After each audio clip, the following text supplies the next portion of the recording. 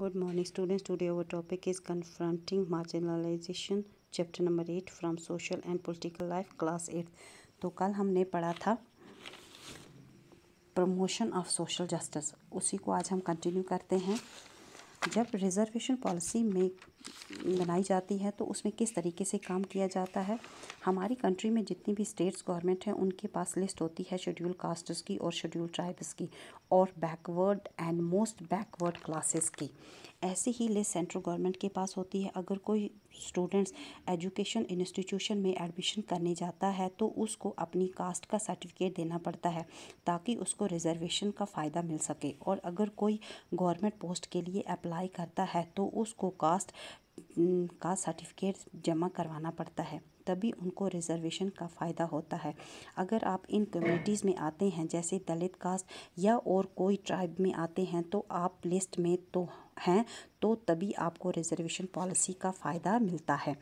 अगर कॉलेजेस में एडमिशन लेनी है स्पेशली ऐसे इंस्टीट्यूशन में जहाँ पर प्रोफेशनल एजुकेशन दी जाती है, जैसे मेडिकल कॉलेज ऐसे कॉलेजेस में एडमिशन लेने के लिए गवर्नमेंट का टॉप मार्क्स सेट कर देती है। इसका मतलब है कि जो दलित हैं, उस मार्क्स में ज़्यादा मार्क्स लाते हैं तो उसे ही एडमिशन मिलेगा। इसका मतलब है कि जो दलित हैं या दूसरे ट्राइबल्स हैं, ये कट ऑफ़ मार्क्स को पार करना होगा। उसमें उसमें अबोव मार्क्स लाने ही पड़ेंगे, तब उसको एडमिशन मिलेगी। जो अच्छे मार्क्स लाते हैं, उनको गवर्नमेंट की तरफ़ से स्कॉलरशिप भी मिल जाता है। यहाँ पर देखिए, इस तरह से स्कीम बनाई जाती है, जैसे स्कॉलरशिप फॉर स्टूडेंट्स हो गया। पुलिस स्टेशन को खोलने की स्कीम या फिर गर्ल्स के लिए गवर्नमेंट स्कूल्स ताकि वो ज़्यादा से ज़्यादा स्कूल आ पाएँ। इस स्कॉलरशिप से स्टूडेंट्स को मोटिवेशन मिलता है, साथ ही साथ जो फाइनेंशियल हेल्प भी मिल जाती है। पुलिस स्टेशन में खोलने को लोगों को सेफ्टी मिल जाती है, उनको पुलिस स्टेशन में जाना आसान हो जाता है।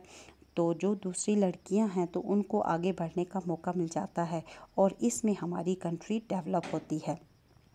तो इस तरीके से स्कीम तैयार की जाती हैं। उनके पीछे कुछ रीज़न होते हैं। देखा जाता है स्कीम में कि क्या फ़ायदा होगा लोगों को। Thank you for watching this video.